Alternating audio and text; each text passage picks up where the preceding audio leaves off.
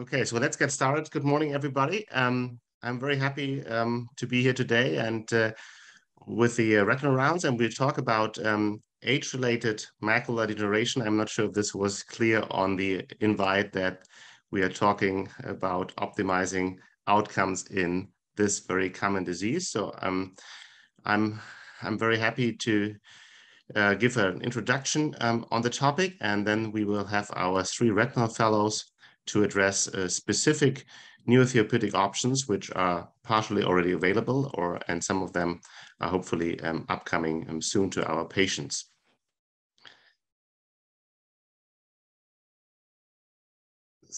As a disclosure, um, I will um, discuss um, some of uh, these new therapeutic options um, uh, from pharmaceutical companies and maybe also there are also some imaging device manufacturers involved, um, which I'm linked to in terms of research funding, consultancy, um, contracted research, and uh, honoria, mainly as part of my reading center activities.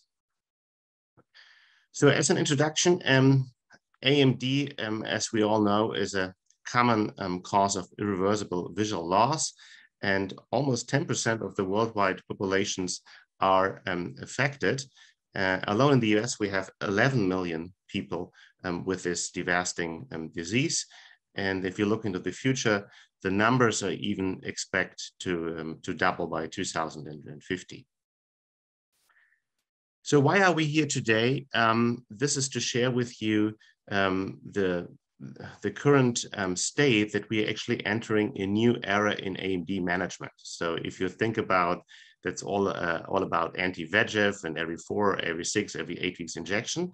Though this is um, almost now history, and there are several um, developments um, to report. The first one is that um, the patents for um, ranibizumab and bevacizumab have expired in the US last year and are set to expire um, this year, in the middle of this year in Europe. While um, uh, we still have some time um, to go.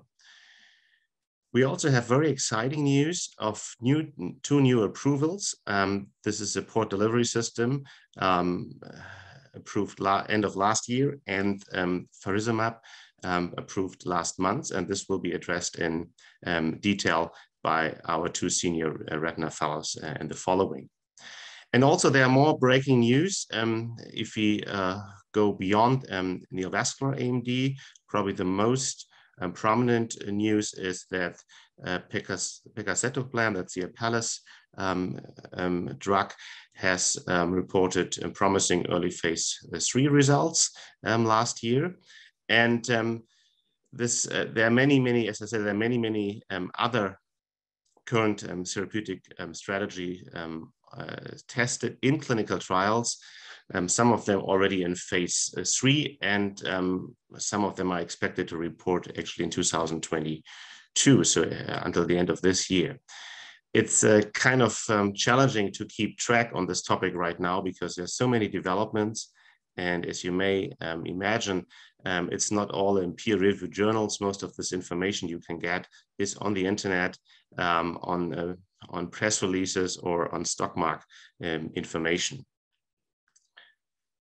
So what opportunities exist in principle to optimize outcome um, of our AMD patients? And I think there are two different approaches. One is for the neovascular form that we increase the treatment durability, reduce the treatment burden, and um, improve the real world outcomes. And the other one, and this is probably, uh, or this is um, obviously uh, much more challenging, is to address the multifactorial nature of the disease other than um, the um, um antibody treatment.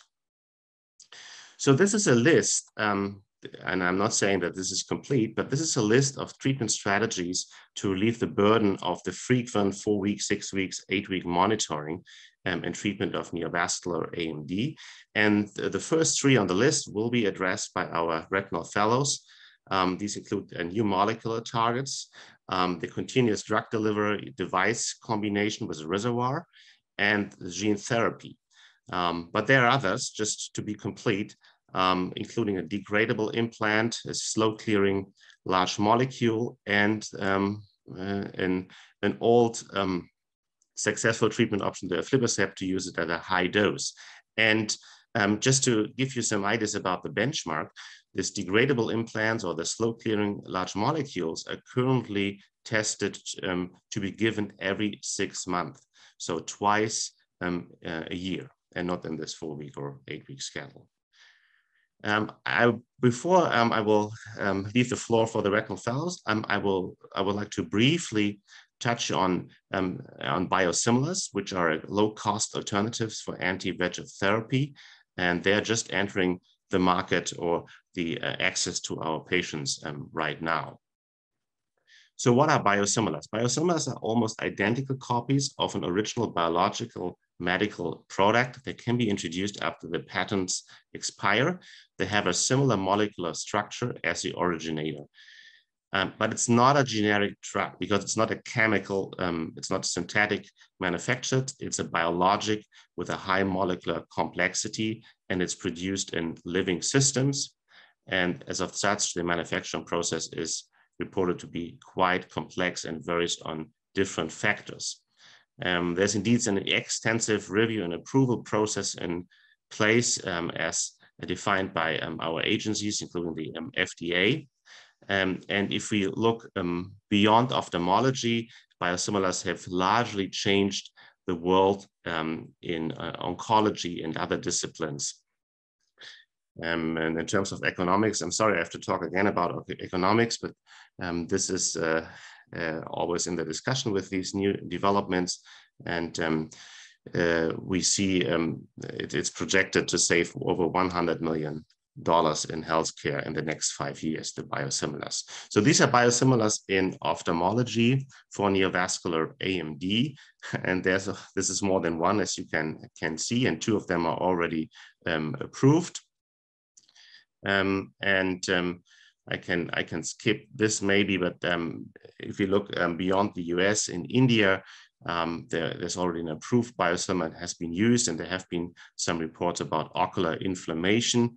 Um, in terms of the terminology, you may have seen this already on TV that there are several spots outside of ophthalmology again where they have these um, antibody names uh, followed by um, um, a four-letter random appearing suffix, and this is the way how biosimilars are um, are, are, are, labeled. Um, so you have the originator, and then you have a random four-letter um, suffix to keep track about the actual agent. And there are no currently approved uh, um, aflibercept biosimilar or bevacizumab uh, similars in, in the US.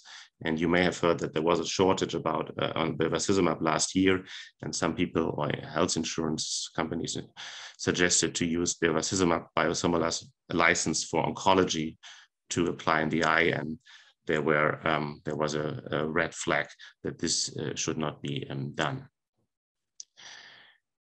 Okay, so um, talking about um, to address the multifactorial disease of AMD, of, obviously this is a much more complex question and we will not answer this um, today, um, but to summarize, um, there are different pathways into, the, into discussion and there are huge different ways of application, uh, how to apply new therapeutical um, agents. Um, and um, just to address um, some of them today, um, one attempt, one target is neuroprotection. Um, um, this is, this is, there have been several attempts in the past, but no major breakthrough. in this context, I think it's always important to know that the AREDS supplementation didn't show an effect on progression of atrophic lesion size. Uh, it showed, as you, as, as, you uh, know, that you can reduce um, the risk for conversion to late stage disease, but once you have atrophy, um, it doesn't, uh, doesn't do much to the further expansion of lesions. Um, a big topic which is currently under discussion is uh, what is summarized here as rejuvenate, repair, and generate damaged cells. Um, this includes photobiomodulation and subthreshold nanolaser second intervention, still in phase two on the edge of uh, phase three. Um, there are, and this is a, a, list of current stem cell approaches ongoing. Um, so this list is getting longer and longer in my impression.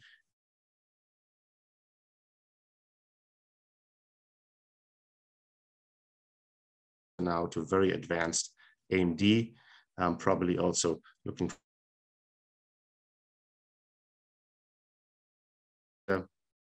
um, published um, last year as early phase three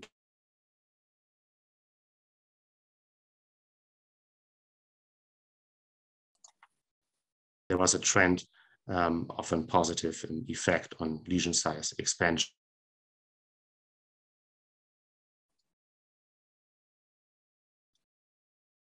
Gam, is the audio cutting out for you as well?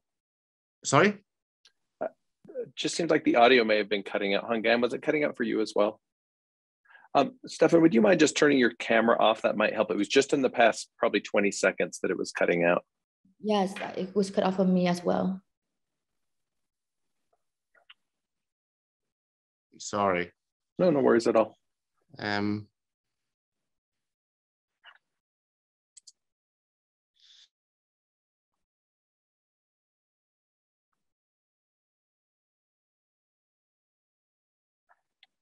conclude, um, there's an increasing number of activities and uh,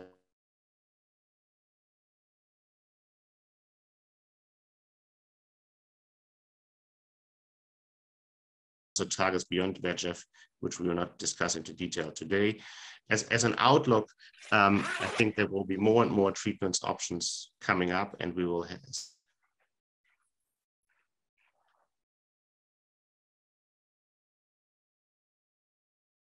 Simonett, who will talk about the um, PDS um, implant.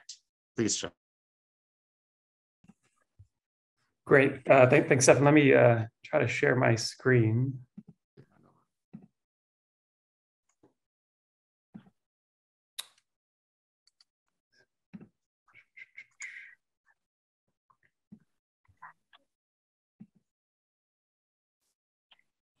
All right. Um, do, uh, do, do you guys just see the slide or do you see the full?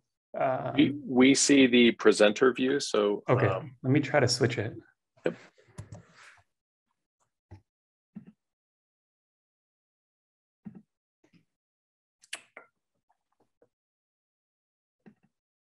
How about now?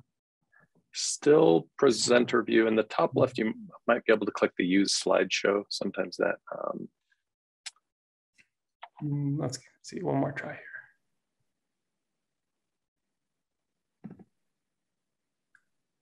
There, we got it. You got it. Got it. Okay. Uh, well, great. So obviously a, a, lot in the pipeline and a few things newly available. Uh, so I'm going to talk about one of those things that uh, can potentially help us achieve continuous delivery of intraocular VEGF. This is my wife enjoying some Utah powder up on Little Water Peak. Let me just move this here. Okay, so uh, this is the brand new port delivery system, which has been uh, named Susvimo. It looks like a little Eppendorf tube, and this is a surgically placed refillable implant that sits in the vitreous cavity uh, that can slowly and continuously diffuse anti-VEGF, uh, specifically ranibizumab, uh, into the vitreous cavity for exudative AMD patients. And this is what it looks like in the eye. This is, um, I believe this is at about a post uh, one month visit uh, that's been uh, published in one of their more recent papers that shows it externally where we can refill it and then also as it sits in the vitreous cavity. Uh, we'll get to some short surgical videos a little bit later as well. And then the refill happens uh, just in clinic with a, a, kind of a bidirectional exchange uh, needle that removes the uh, old fluid and replaces it with new high concentration of ranibizumab. Uh, so let's talk a little bit about the data and the trials that led to the now recent FDA approval of the PDS. The, the phase two or ladder trial uh, happened a few years ago. This looked at different concentrations of ranibizumab in the PDS as well as comparison to monthly intravitreal injections. Their primary outcome uh, for this phase two study was not vision, but uh, time to first refill, which uh, had to meet uh, both specific vision and OCT based criteria. And at the highest dose of ranibizumab, uh, this was 15.8 months uh, from implant to time to mean first refill. Uh, this also helped determine the appropriate dose and as we'll see in a bit, improve some surgical steps uh, within the protocol. Um, and then more recently, we have the phase three Archway trial. So this was a randomized open label trial conducted at 78 different sites across the US. Um, here, the primary outcome was change in best corrected visual acuity. Uh, unlike the ladder trial, uh, in Archway, they had a planned and mandatory refill uh, for all patients with PDS at six months and kind of their, their ultimate outcome, outcome was that the PDS implant was found uh, both non-inferior and equivalent to monthly ranibizumab. So uh, let's dive a little more into this phase three trial uh, that came out not too long ago in ophthalmology. Uh, so some, some uh, specific inclusion exclusion criteria, not comprehensive, but I think some of the key ones. Uh, so patients had to be diagnosed with wet AMD within uh, nine months prior to enrollment. And really importantly, they had to demonstrate structural response on OCT and show either stable or improved vision uh, after three or more anti-VEGF injections prior to enrollment in the trial. So you had to prove that they were anti-VEGF responsive. Um, also importantly, this wasn't necessarily ranibizumab, it could have been any um, of the available anti-VEGF agents. Um, exclusion criteria, uh, they can't have really severe subfoveal pathology, so no, no fibrosis or atrophy. Uh, their prior treatment could only consist of anti-VEGF therapy, so no PDT, steroids, focal laser, other things like that. Um, and then importantly, as, as, we'll see today, also could not have had any um, like glaucoma surgeries or other supratemporal quadrant surgeries in the study eye. Um, so looking at the results, so they enrolled 418 patients, randomized three to two to PDS um, to uh, intravitreal injections. They had a, um, a very high retention rate uh, with completion through the first 40 weeks. And uh, we're looking here at their uh, best corrected visual acuity during those first 40 weeks. And you can see that it stays uh, pretty much equivalent except for a small drop in the PDS group uh, immediately after surgery, which then recovers uh, to their baseline. And this, of course, looks a little different than the curves we're used to looking at because we don't have the initial improvement uh, included in the trial. And that's because all of these patients had previously received at least three intravitreal anti-VEGF injections. So within the trial, we're not seeing that improvement, but retrospectively, they looked and saw that there was an average uh, 11 letter improvement prior to trial enrollment with their initial anti-VEGF therapy. Um, so th this curve now looks pretty similar to what we've seen in the original Anchor and Marina trials. Um, similarly, they also showed uh, stable and equivalent um, OCT thickness measurements um, between the two groups. Um, they also showed that uh, based on their refill criteria, uh, that only 1.6% of the PDS patients required any supplemental injections um, during these first uh, 40 weeks. And, and finally, at the end of the 40 weeks, they, sent out a questionnaire, and, and the vast majority of patients who had the PDS implant uh, were happy with it and, and said that they preferred that over monthly injections. Uh, so let's look a little bit at some of um, these surgical videos. This doesn't show all the steps, and I'll talk a little bit about how they changed the surgical procedure a bit from kind of the beginning of the ladder study to the end of the archway study. Um, so they, they measure a 3.5 um, scleral, 3.5 millimeter scleral measurement, which is four millimeters back from the limbus. This is after they've done a careful peritomy in the supratemporal quadrant. You'll also notice that they have a 27 gauge infusion line, which they actually don't turn on until the end of the case just to repressurize the eye if it is soft. And many, many surgeons also use a traction suture, uh, much like for trabs or tubes. Um, so let's play here as they do a careful cut down with an MVR blade. And then a new step that they added that they found that reduced vitreous hemorrhages was they used the endolaser to treat uh, kind of that exposed uvea to then uh, reduce vitreous hemorrhages that, that were associated with the PDS and with the actual um, pars plana incision. And then here's the implantation of the PDS that um, should fit pretty snugly in that incision. and they can kind of just uh, tap it in there. And then, of course, uh, closure is super important, which is a, a, little unusual for retina surgeons. And, and, I think we have a lot to learn from glaucoma. And, and at the end of this, I'd love, I'd love to get their feedback about things that are, you know, tips or th things that could, could potentially be done better. Uh, but, but kind of a two-layer closure where you're ensuring that tenons and conjunctiva um, is, is closed here. Also selecting patients that that have healthy conjunctiva um, also seems to be important, um, but, but really ensuring that there's going to be uh, the lowest risk possible, possible of retraction or erosion or exposure of this implant is really key in its surgical success. And then the refill in clinic is really interesting. So I have a little animation here. So it uses the shorter needle that enters and then uh, extracts the fluid and replaces it with that high concentration of ranibizumab. And this is what it looks like in real life. Um, some, some key points are you have to be almost perfectly perpendicular and uh, you need to target the, the center stock of that PDS implant.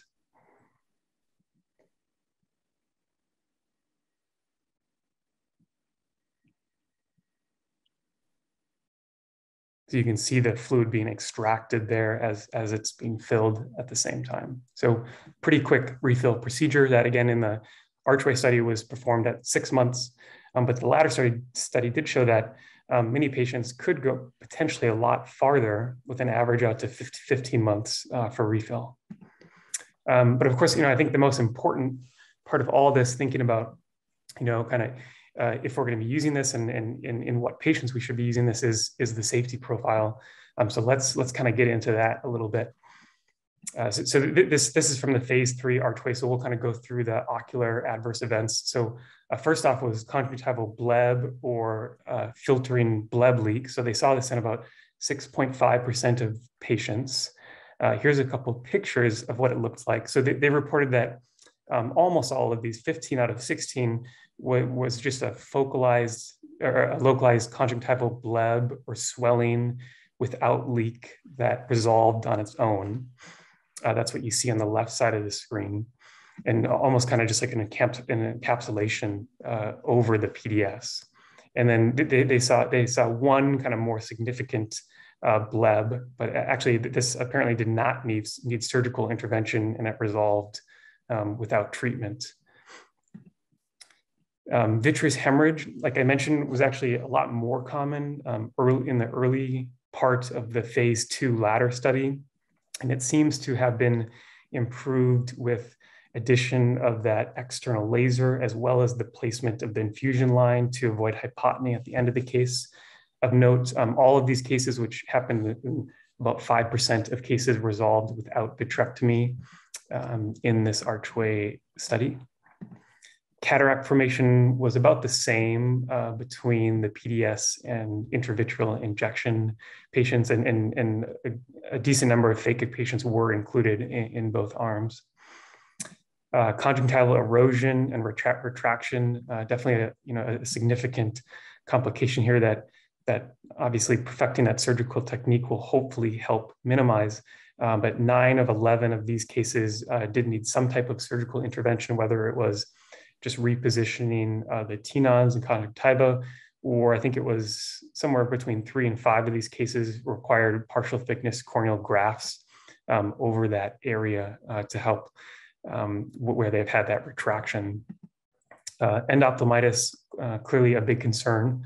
Um, it happened in 1.6% of patients, so four cases, uh, which, which was higher than the intravitreal injection uh, arm.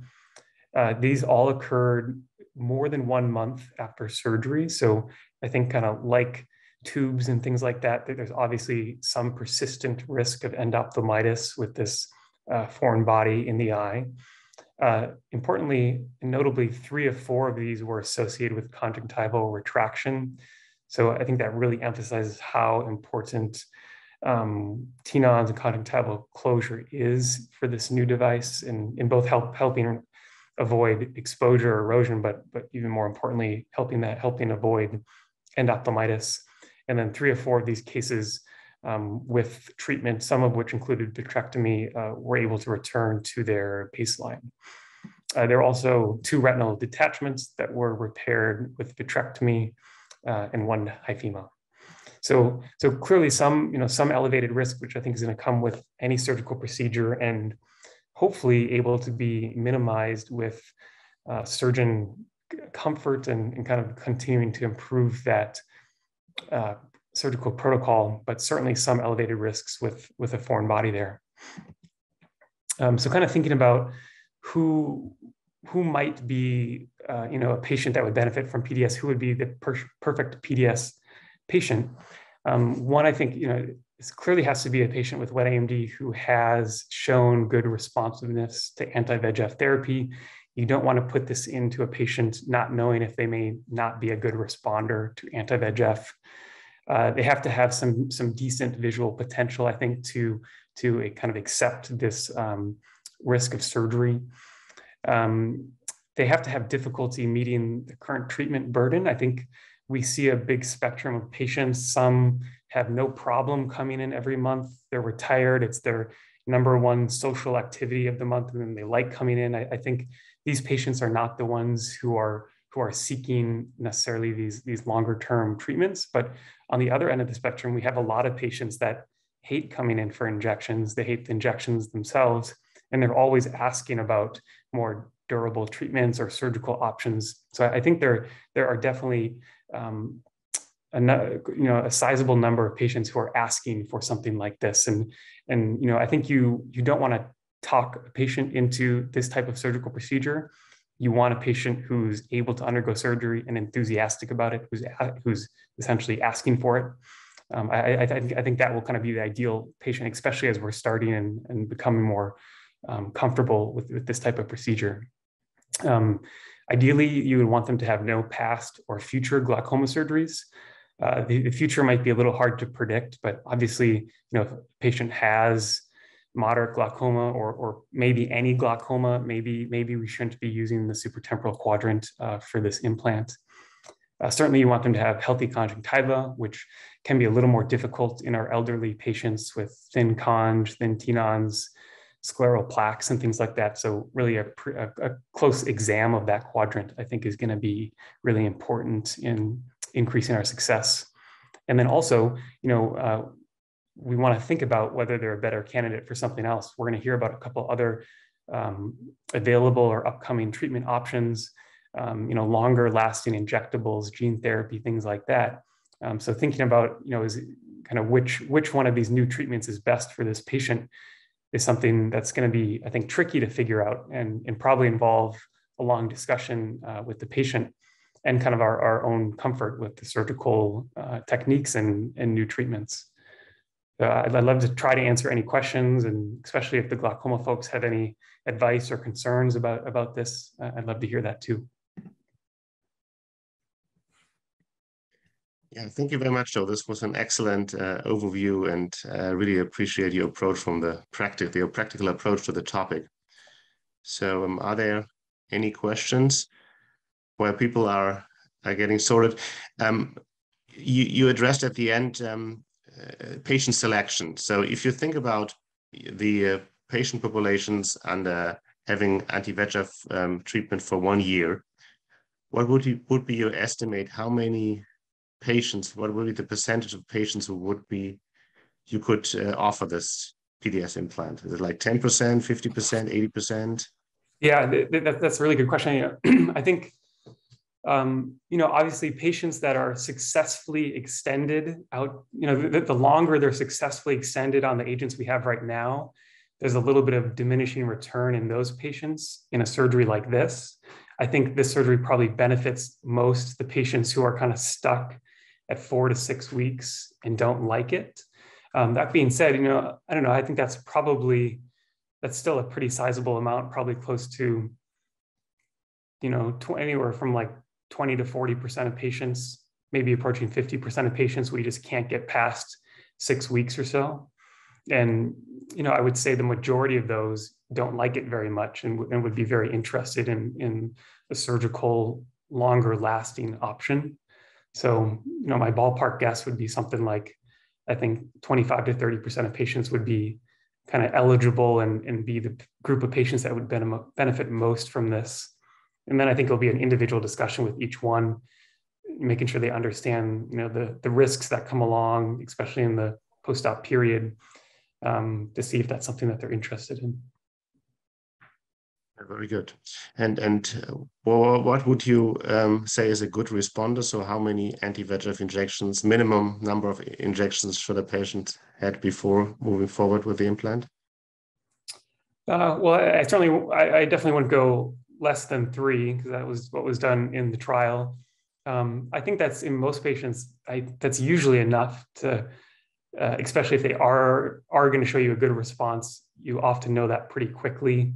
Um, you know, the, the, other patients, I think this will become uh, an option in our some of our long-term patients that we've treated for years and years, and we just know that they're still dependent on anti-VEGF, um, but they're ready for something longer acting like this. So I, I think I think three would would remain my minimum. Mm-hmm. I see Paul Bernstein and Mike Teske here. Uh, do one of you would like to give an update um, where we are with the Moran on this new treatment option?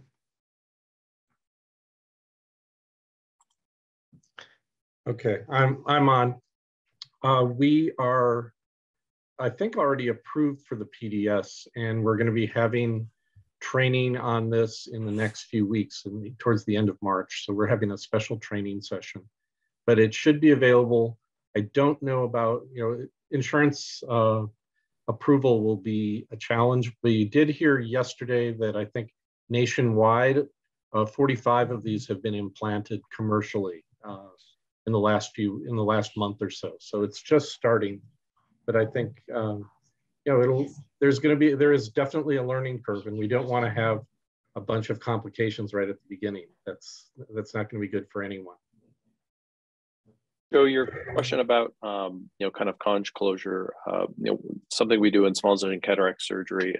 I, would really you know again really advise you to make sure people do have robust tenons there's just no replacement for that. Um, and then just make sure that, you know, that you're really down to bare sclera and you're not, you know, leaving any tenons on the base mm-hmm. as well. Those would be the only two uh, tips. I, I, I, you know, the Archway trial, they did use those partial thickness cornea grafts uh, to cover. Uh, that's been done uh, with with success, you know, actually over the years for various things like glaucoma, and that's something that uh, I, I think, you know, over time, you know, could be used really effectively. Great, thanks so exciting times. Um, and uh, and uh, we move on and i would like to um, introduce Hong-Gam dr Le who will talk now about the um, bispecific antibody.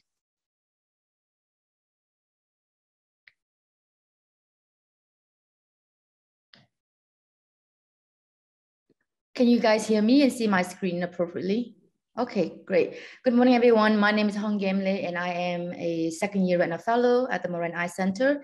And today we'll be talking about a new play on the field, as Dr. Fleckenstein has called it, um, Vabysmo. And this, uh, this has just been recently approved last month, January 2022. Um, this is the Business, Business Wire um, uh, press release. So FDA approved and it's marketed as the first bispecific antibody uh, designed for intraocular use. Um, and uh, it actually has been approved not only just for a, a neovascular AMD, but also for DME. But today we'll focus on its uh, um, indication and use for uh, wet AMD. So you caught me stumbling on the pronunciation of the name of this, the, the brand name of these drugs. The generic name is, uh, the scientific name is faricimab, and the brand name is, uh, I bet a lot of you probably when you see this word pronounced as Vabysmo, the correct pronunciation, as I learned yesterday at um, the, the dinner was is Vabysmo. And the anatomy of the name actually tell you a lot about what this um, molecule is about. So the V in Vabysmo stand for the V in anti-VEGF-A, and the A stand for anti-Ang2. And these are the two pathways that these bispecific molecules aim to target. So the bis here stand for bispecific and the Y is meant to resemble the shape of the molecule. It's like an IgG antibody, so Y shape. And the MO stand for molecule. So just from you know understanding the anatomy of the name itself, you can have uh, an overall understanding of what this uh, of the design of this molecule and what it aims to do. So, um, so for specific antibody, designed in use one molecule, two target, and the two target are um, anti-Ang2 and anti-VEGF-A. Anti-VEGF-A, as we all know, is the target of Eylea. Okay, uh, and just a quick uh, basic sign review.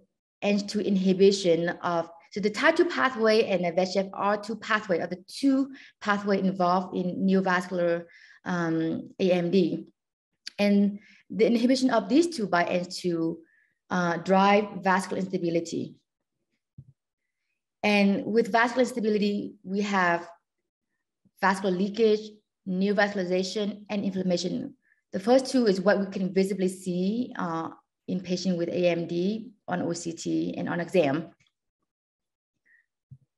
And uh, the elevated level of both Ang2 and VEGF together synergistically increase the vascular stability, instability, and that leads to uh, what we see as wet AMD or neovascular AMD. As we know that both of these uh, level are elevated or upregulated in patient with an AMD. Okay, so so that's uh, that's how our Vabysmo work is that it independently binds and neutralizes both Ang2 and VEGF-A, thereby enable a dual inhibition of two distinct pathways involved in wet AMD. This, so this is the first time that we have a medication um, that is designed and has been demonstrated to um, achieve this. And this is a screenshot from the Vabysmo prescription information that you can get online via this link. So the indication is, as I mentioned, for uh, wet AMD and also diabetic macular edema.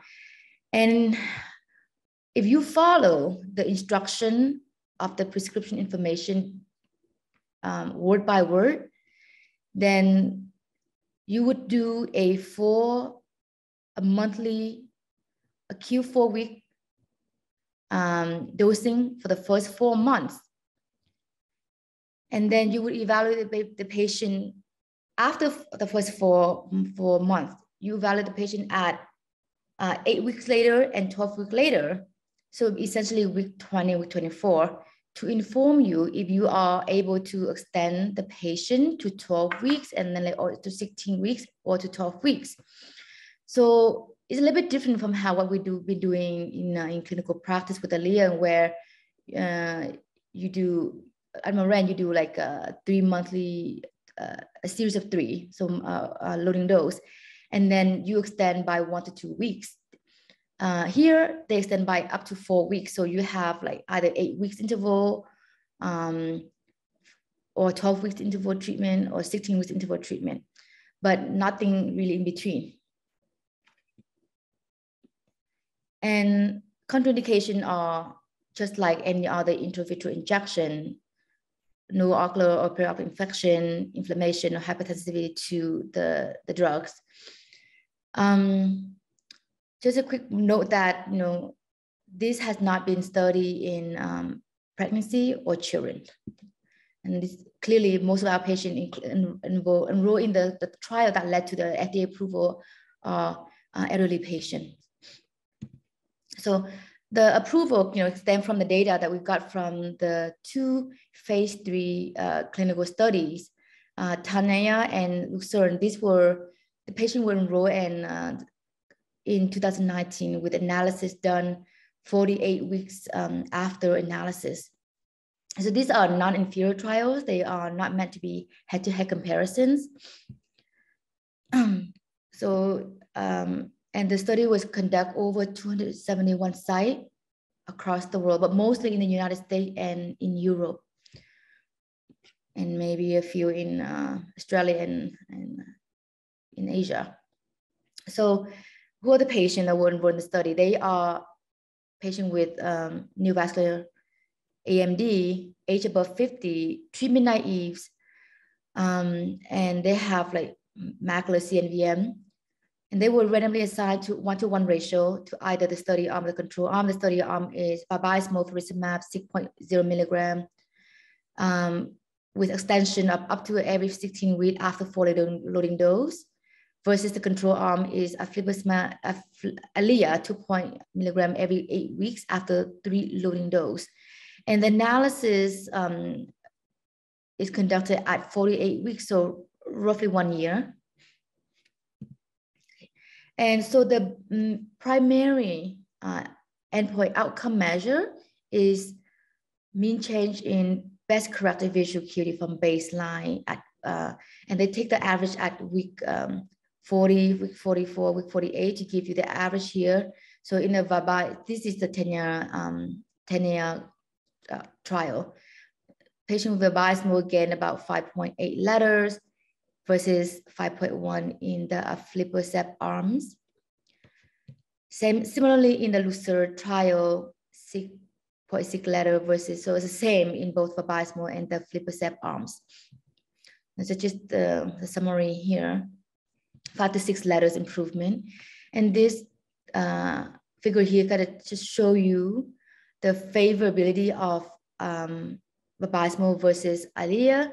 And it's, I would say there's close to equivalent. It's not inferior, is what it's trying to tell you. It's not inferior, whether, whether it is superior is not demonstrated here. Um, and this chart graph here tell you at 48 weeks, how many of these patients are we able to extend to every 16 weeks? And the answer in both trials are roughly 45%. But if you also count those who they were able to extend to 12 weeks, then you get up to 80%. Okay. And then another easy way to look at this is um, at week 48, we have 45, so roughly 50% of patients that are able to extend to 16 weeks. What does that mean? That means they get four, little, four loading dose and plus two injection at week 28 and 44. So they get a total of six injection at 48 weeks. So in one year, they get about six injection. And then 33 of them get seven injection and the rest got nine injection. So on average, you can say that patient uh, who follow the Vabysmo clinical trial protocol will end up getting between six to nine injection, with most of them, 80% of patients getting either six or seven injection. This is comparing to, at least in this study, all patients in the aflibercept arm receive a total of eight injection because they get three loading dose. And then after that, they get fixed Q8 uh, injection. That means three plus five, so eight injection. So if you take the average, on average, patient in the Vabysmo arm get one less injection per year. And we care about uh, common adverse reaction. Um, so very similar safety profile compared to uh. The most common is conjunctival hemorrhage, which to us is not detrimental. So that's a very acceptable um, uh, adverse reaction. The one that we care about are probably, you know, giving the recent history of the failure of Beovu um, with the concern for retinal vasculitis. Um, these two phase three trial demonstrate no case of retinal vasculitis report, at least in this um, two phase three clinical trial.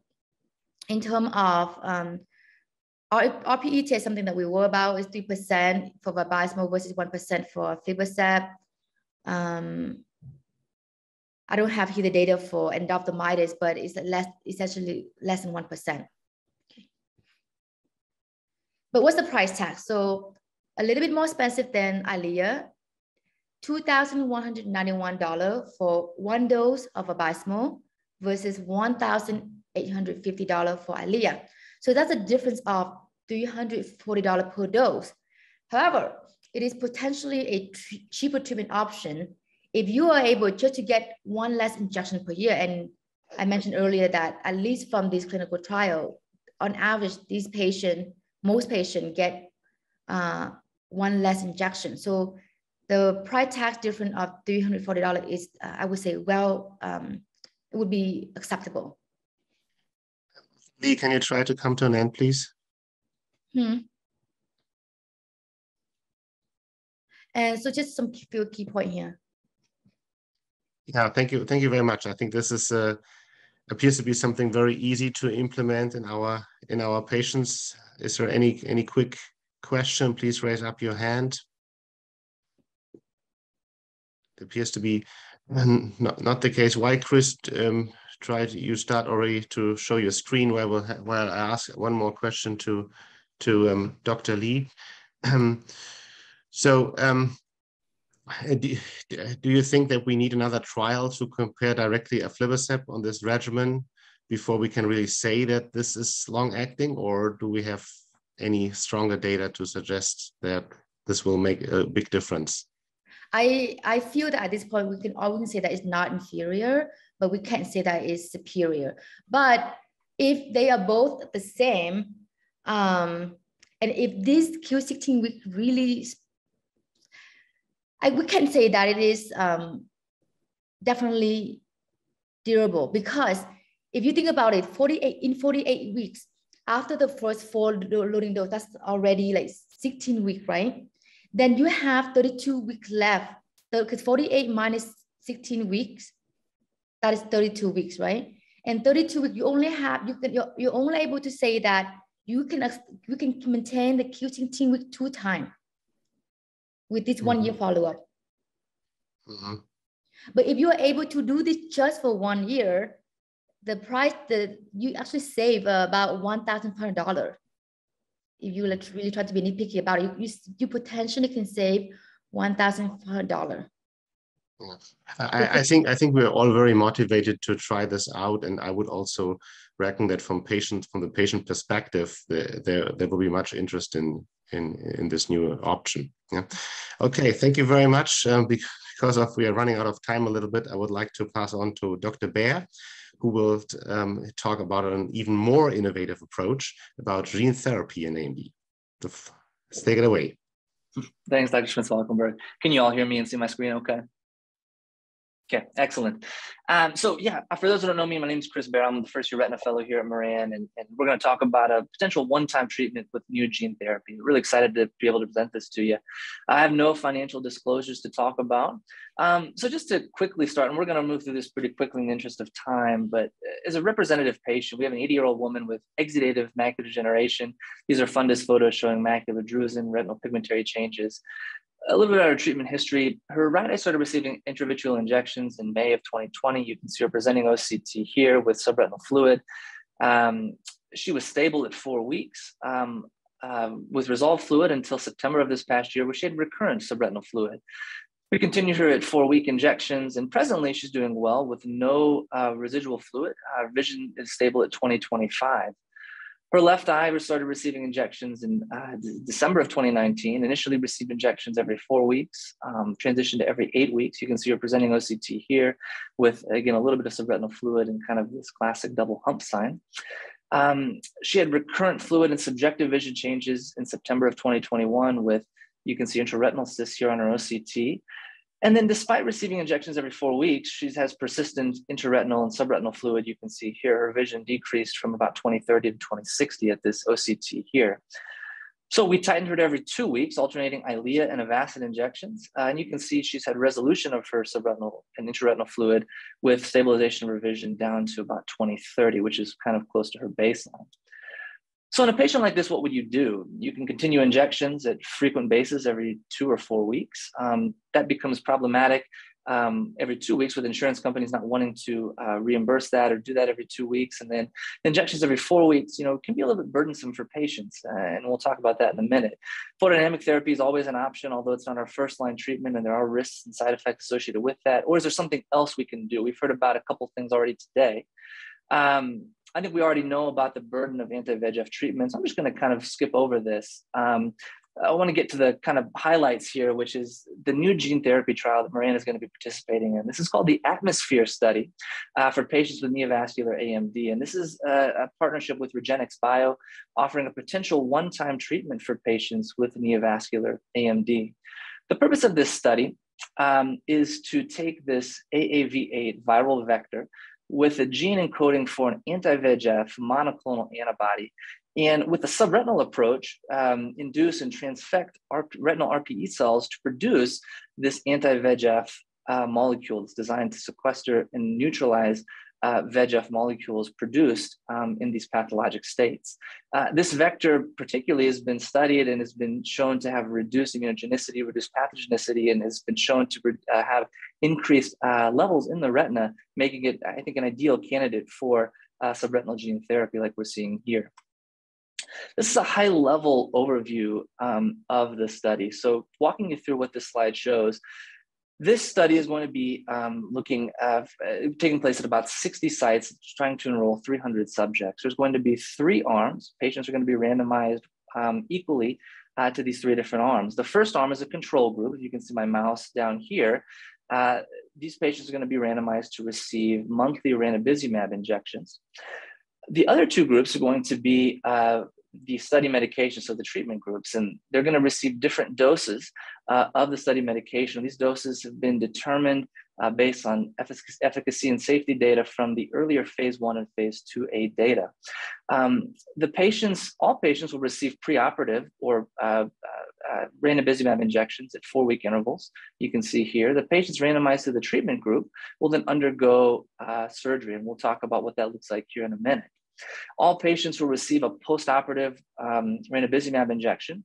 And then patients who are in the control group will continue to receive monthly ranibizumab injections through the duration of the study. Um, patients who are in the treatment group will uh, receive injections on a PRN basis. And that PRN basis uh, is determined by the investigators uh, if they're receiving, if they see new CNVM activity, new fluid on OCT, if they have reduction in vision, or if they have new hemorrhage on exam.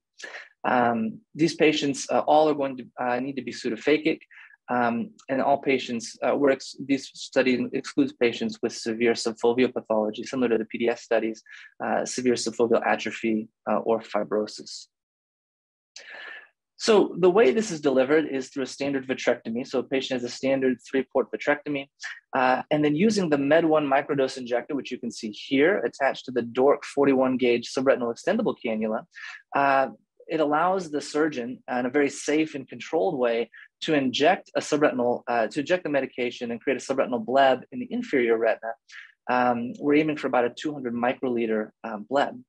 Uh, patients have received their standard postoperative care with standard postoperative drop regimens um, and um, uh, special positioning requirements. Here you can see upright positioning um, for patients uh, with discharge. So we're excited about this for a few different reasons. Um, number one, this, uh, this is data from the earlier phase one and phase 2A uh, studies. And this gene therapy is shown to be number one, very safe and well tolerated. You can see that the common adverse effects here um, are similar to what's been presented already today. Um, we have conjunctival hemorrhage. Importantly, uh, postoperative inflammation was mild and resolved on its own. Uh, there are patients, the most common was retinal pigmentary changes. Again, most were mild. Um, the two that were severe um, uh, were observed uh, with, uh, uh, were more significant when patients had blebs made in the superior retina, which has been changed now to have blebs done in the inferior retina in, in our ongoing studies. Um, and again, no patients had permanent reductions in visual acuity. Um, and there were no evidence or no incidences of endophthalmitis or retinal detachments or issues like that.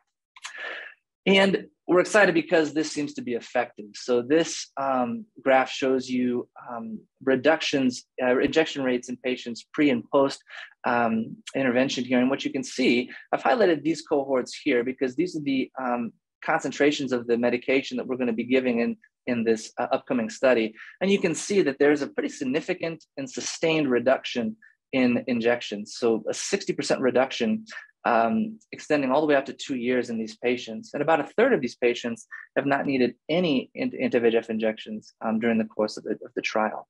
So um, these are all things that you know we're excited and we're um, uh, going to be offering here at Moran uh, in, in, the near future moving forward. If you're interested in more information, so the clinicaltrials.gov registry for the studies listed here, and then um, REGENXBIO had a nice press release about their phase one and phase 2A data at this link right here. Um, so in the interest of time, I'll, I'll cut it short there. Um, a special thanks to a few folks here. So Dr. Bernstein for um, you know, getting us in on the study here. And then uh, Lillian Chen and Gina Kartses, uh, who um, are our contacts at REGENXBIO and have been really helpful in presenting some of the slides you see here and, and forwarding a lot of the data and information that we've seen. Um, so I'll, I'll, wrap it up there, but if you have any questions, happy to take them. Um, but like I said, we're excited about this and, and looking forward to getting patients on this treatment moving forward.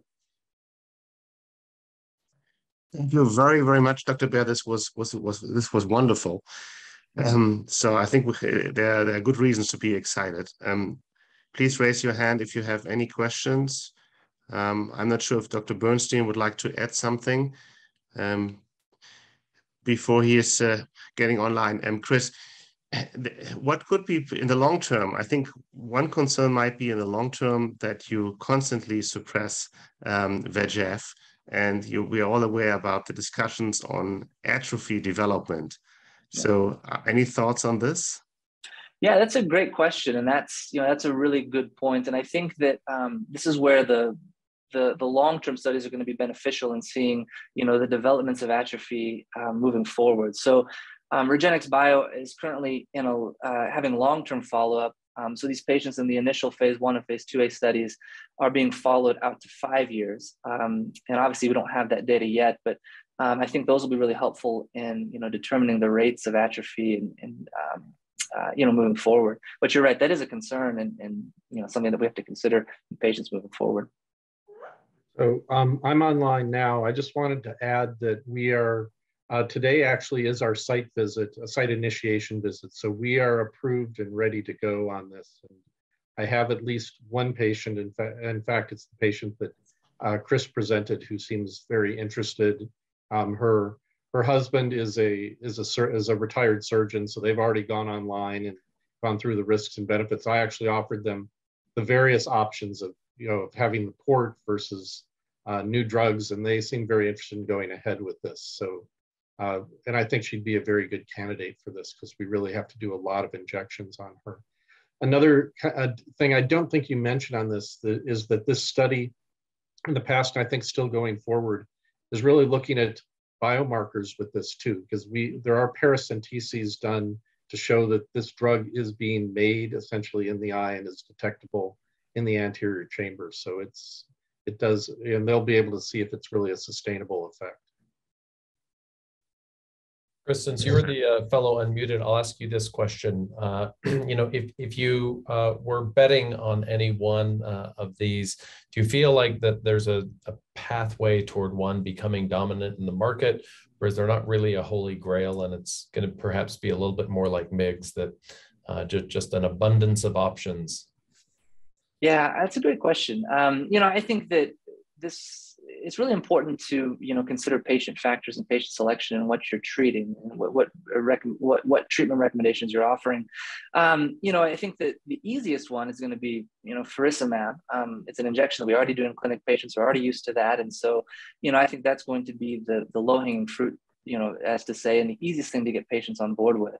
Um, you know, these patients that have recalcitrant disease, like you know, the patient I showed here, um, you know, faricimab might be a good option for that patient, but for maybe more long-term or more sustained um, treatment for those patients, gene therapy or the port delivery system might be better for those patients. So uh, that's kind of a, I know kind of an unsatisfying answer to your question, but I think it kind of comes down to, um, you know, there's a lot of patient factors that come into play. The, the easiest one to do would be faricimab because it's something patients are already used to, but these other treatments and, you know, the other things that Dr. Schmitz-Valckenberg mentioned down the line, um, I think are going to play a role, um, a big role moving forward. I think it's a wonderful situation for us right now to actually investigate what is the best best option for patients. Yeah? So we will have longer discussions with patients. I'm I'm, I'm sure about it, and uh, yeah, we will find out.